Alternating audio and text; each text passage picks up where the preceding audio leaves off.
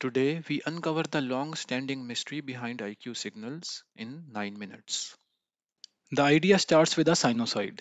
Sinusoids are important in digital signal processing applications because most practical signal can be constructed as a sum of these sinusoids with different frequencies, amplitudes, and phases. Let us run a little demonstration. Here we have a few sinusoids with frequencies 1 kilohertz, 3 kilohertz, 5 kilohertz and 7 kilohertz. This is the summation waveform. So when 1 kilohertz is turned on, we can see this here. 3 kilohertz is turned on. We have a summation of 1 kilohertz sinusoid with amplitude 1 and 3 kilohertz sinusoid with amplitude 1 by 3. 5 kilohertz with amplitude of 1 by 5 and 7 kilohertz with an amplitude of 1 by 7 are added. You can see this waveform resembles something we know very well, that is a square wave. This was a little demonstration to show that even a waveform like a square wave can be thought of a summation of sinusoids with some particular frequencies. I can go to 9 kilohertz, 11 kilohertz and so on when this approximation will become a little better. We just saw that most practical signals can be constructed from different sinusoids of varying amplitudes, frequencies, and phases. The most well-known signals we know from them are cos 2 pi ft and sin 2 pi ft. The question is how to generate the sinusoid with particular frequencies, amplitudes, and phases, or to target the easier problem, how to measure the amplitude and phase of a sinusoid. Since frequency is a function of phase, we just focus on amplitude and phase here. Let us target the easier task of amplitude measurement first. If we have a sinusoid with a certain frequency and amplitude, if, and when we multiply it with the same frequency sinusoid, the output is a constant, which is the amplitude. 2, we have the same frequency with amplitude of 2, the output is 2. And why is it so? Simple trigonometric relation uh, which is called the product formula and we have a constant output a double frequency 2f this is the double frequency which can see and it can easily be filtered out to find the constant that remains first we need to know what phase means we write an expression phi or theta in cosine expression most people know that it shifts the sinusoid by some amount. For example, this is a sine wave and this is a shifted sinusoid which is representing a particular phase. How to find out what phase it is? For this purpose, we write this expression as cos 2 pi f t plus phi over 2 pi f. And we take f equals 1 so that we can clearly see what is going on, which makes this expression 2 pi t plus phi over 2 pi. Now we can see that when phi is 0, then this is cos 2 pi t, a frequency 1 sinusoid. When phi is 90 degree, then this is 90 over 360 1 by 4. Here we can see that this sinusoid is shifted by 1 by 4 period and this point comes here and this is cos 2 pi ft plus 90 degree. When phi is 180 degrees, so 180 over 360 is half here we can see that this sinusoid is shifted by half a period. So this point comes here and so on.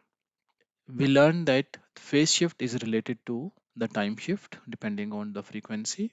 And the next task is to see how to measure this phase.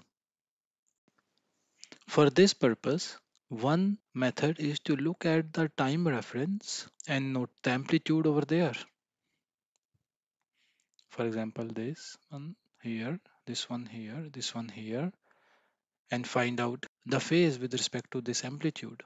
The problem however in this approach is that every point in a sinusoid appears not in one location but in two locations. For example here and here here and here and for a general case you can see it is cutting this sinusoid at this point and at this point how do we know that the point we are referring to is the one while going up or the one while going down. For example, here we have a signal cos 2 pi ft plus 60 degree and cos 2 pi ft plus 300 degree. I hope that you can draw these signals from the understanding we have acquired so far. Here we can look at 0.5 and say that this is cos of 2 pi ft plus 60 degree because cos 60 degree is 0.5. By looking at the amplitude, we can find the phase or can we?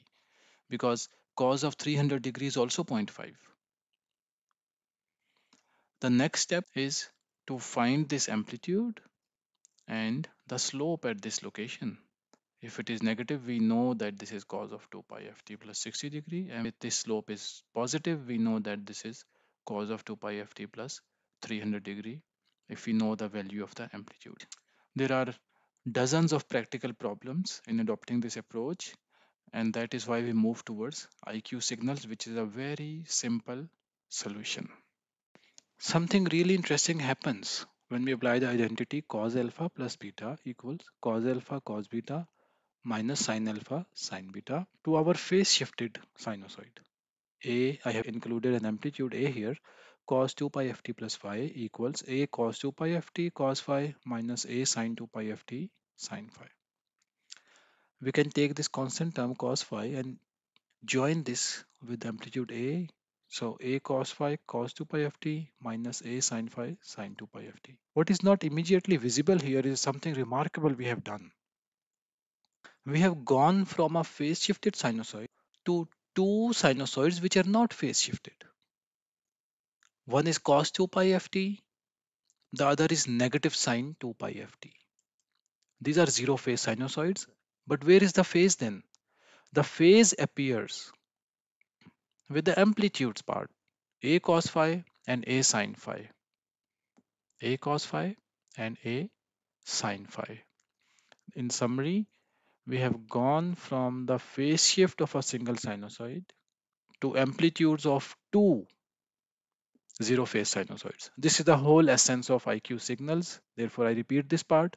We have gone from the phase shift of a single sinusoid, which is very difficult to measure or generate, to two zero phase sinusoids, where the phase information is in their amplitudes now, a cos phi and a sin phi.